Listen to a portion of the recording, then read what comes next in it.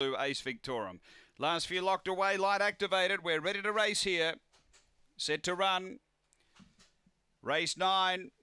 On their way, speed out deep, pushing on. Victor Charlie got chopped there as Tarby worked its way to the lead. Tarby got away down the back from Stiff Upper Lip second, then Abigarado from uh, Ace Victorum, and then Kind Girl. And Victor Charlie, the leader, is Tarby being tackled by Stiff Upper Lip, who's racing up to it. Then came Abigarado. It's Tarby the inside, Stiff Upper Lip the outside, Stiff Upper Lip. The wellback runner goes home too well. Stiff Upper Lip beats Tarby. Third Abigarado, then Kind Girl. Next Ace Victorum and Victor Charlie back at the end.